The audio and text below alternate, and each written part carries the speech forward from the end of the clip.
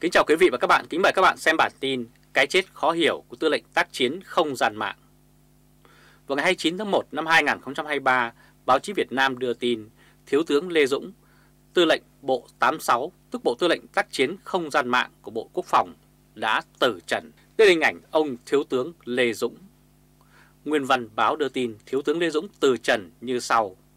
Đảng ủy Bộ Tư lệnh 86 Bộ Quốc phòng và gia đình vô cùng thường tiếc báo tin đồng chí Thiếu tướng Lê Dũng sinh ngày 5 tháng 1 năm 1967 tại xã Thanh Cao, huyện Thanh Oai, thành phố Hà Nội, quê quán phường Khương Thượng, quận Đống Đa, thành phố Hà Nội, nơi hiện nay số nhà 11, Long Phú 2, khu đô thị Vinhome, Thăng Long, xã An Khánh, huyện Hoài Đức, thành phố Hà Nội, nhập ngũ tháng 9 năm 1984, đảng viên Đảng Cộng sản Việt Nam, tư lệnh Bộ Tư lệnh 86 Bộ Quốc phòng. Sau một thời gian lâm bệnh, đồng chí đã được các giáo sư, bác sĩ và gia đình hết sức chăm sóc, tận tình cứu chữa, xong do bệnh nặng, đồng chí đã từ trần vào hồi 19 giờ 58 phút vào ngày 21 tháng 1 năm 2023 tại Bệnh viện Trung ương Quân đội 108. Có điều đáng chú ý là chưa đầy 2 tháng trước khi Thiếu tướng Lê Dũng từ trần vào ngày 26 tháng 11 năm 2022, ông này đã còn đưa vào Đà Nẵng để chủ trì lễ khởi công xây dựng doanh trại cho lữ đoàn 3 thuộc Bộ Tư lệnh 86.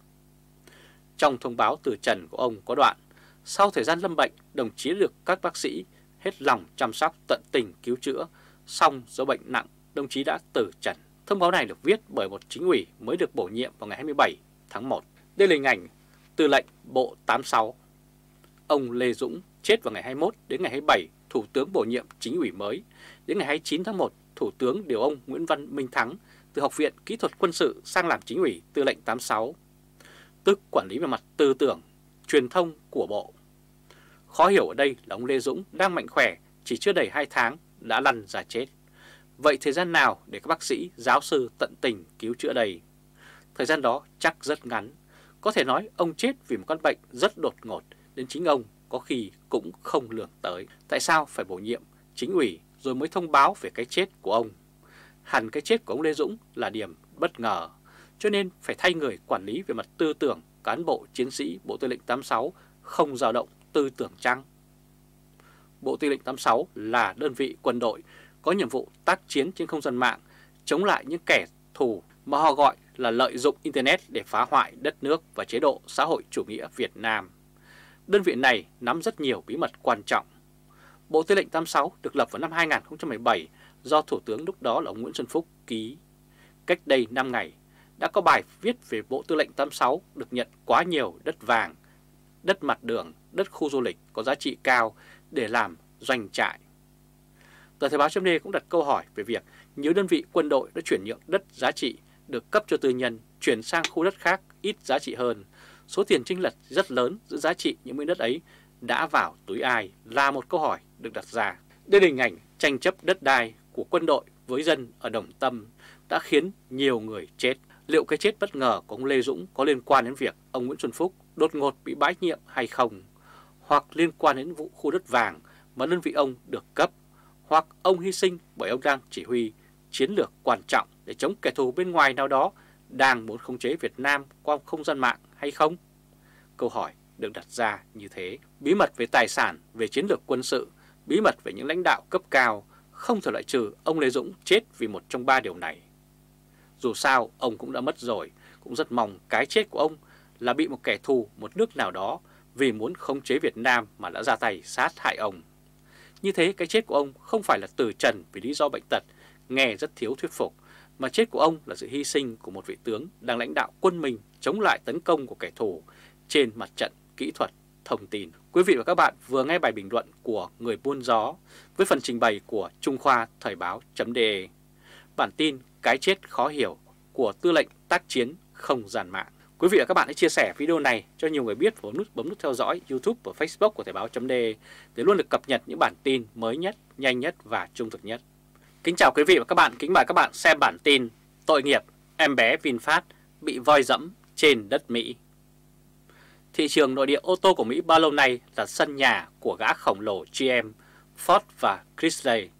Trên thế giới còn đang đam mải mê dùng xe xăng thì ở Mỹ đã nổi lên Tesla đi đầu trong lĩnh vực xe điện. Hiện nay, doanh số hàng năm của Tesla tính bằng đơn vị triệu chiếc một con số quá lớn so với 999 chiếc xe của VinFast mới trở sang Mỹ. Sau một thời gian Tesla một mình một chợ thì các gã khổng lồ xe xăng cũng nhảy vào cuộc mà hãng nào cũng toàn những người khổng lồ trong ngành ô tô toàn cầu. Nissan và Hyundai đã có xe điện thương mại đến Mỹ với giá cả phải chăng. Hãng Ford cũng tung ra dòng xe Mustang Mach-E để cạnh tranh với Tesla. Đây là hình ảnh hãng Ford tham gia cuộc chiến hạ giá với dòng xe Mustang Mach-E. Vào ngày 30 tháng 1, hãng xe ô tô Ford Motor đã hạ giá bán xe đa dụng Clover Mustang Mach-E chạy điện với mức giảm tới 5.900 USD cho mỗi chiếc. Được biết nguyên nhân là do hãng đối thủ Tesla đã giảm giá tới 20% cho xe điện của họ trên toàn cầu. Điều này được chuyên gia cho rằng nó sẽ dẫn tới việc cuộc đua chạy chiến về giá cả trong lĩnh vực xe điện ở Mỹ. Ford đã lên kế hoạch tăng sản lượng xe Mark E trong năm nay tại nhà máy ở Mexico từ 78.000 chiếc xe năm 2022 lên tới 130.000 xe và cho biết họ đang tăng tốc sản xuất Mustang Mark E. Họ nhắm mục tiêu đạt sản lượng hàng năm trên toàn cầu là 270.000 chiếc xe vào cuối năm 2023, bao gồm cả hoạt động sản xuất tại Trung Quốc. Ford tính toán rất kỹ, đặt nhà máy ở Mexico để tận dụng nhân công giá rẻ.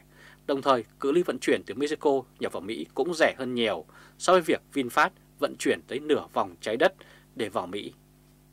Giả sử như VinFast chọn đặt nhà máy tại Mỹ để tiết kiệm được chi phí vận chuyển và thuế nhập khẩu, thì giá của VinFast vẫn bị đội lên bởi chi phí công nhân tại Mỹ rất cao. Ford làm xe ở Mexico nhập vào Mỹ vẫn tiết kiệm hơn là làm xe ngay tại đất Mỹ. Đây là hình ảnh hãng Toyota cũng đang chuẩn bị chơi lớn ở mảng xe điện. Thực ra Tesla giảm giá là một đòn giáng mạnh vào các ông lớn trên đất Mỹ, chứ chưa chắc gì họ xem VinFast là đối thủ. Tuy nhiên, một khi Tesla đã gọi thì Ford sẽ phải trả lời. Vì thế, Ford cũng cho giảm giá Mustang Mach-E để cạnh tranh trực tiếp với Model Y của Tesla. Ford đang giảm giá tới 8% cho các phiên bản khác nhau của Mark E, cũng như giảm khoảng 19% giá pin xe điện. Các phiên bản giá rẻ nhất đang có mức giá giảm giá ít hơn từ 600 đến 900 USD mỗi chiếc. Việc Ford giảm giá chỉ áp dụng cho thị trường Bắc Mỹ.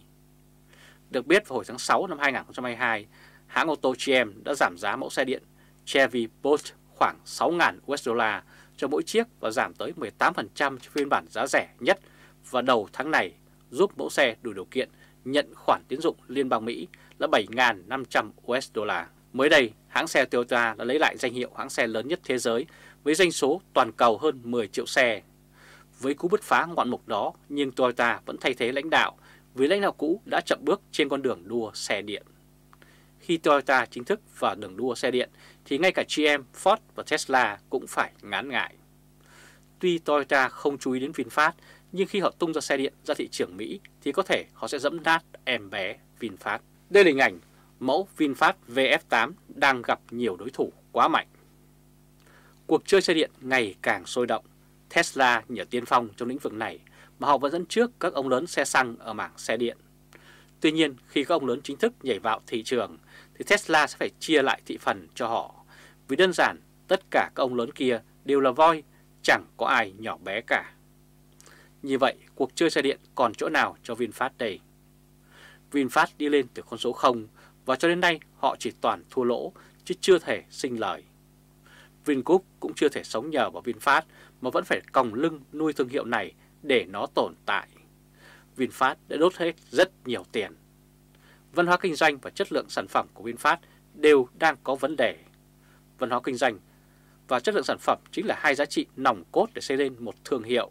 Nhưng VinFast không hoặc chưa làm được thì khó mà tồn tại được giữa một rừng trần vòi. Quý vị và các bạn phải theo dõi chương trình truyền hình trực tiếp của Lê Trung Khoa, Thời báo chấm với bản tin Tội nghiệp em bé VinFast bị voi dẫm trên đất Mỹ. Quý vị và các bạn hãy chia sẻ video này cho nhiều người biết và bấm nút theo dõi YouTube và Facebook của Thời báo chấm để luôn được cập nhật những bản tin mới nhất, nhanh nhất và trung thực nhất. Từ Berlin, Cộng hòa Liên bang Đức chào các bạn và hẹn gặp lại các bạn ở bản tin lần tới. Trung Khoa Thời báo chấm đề.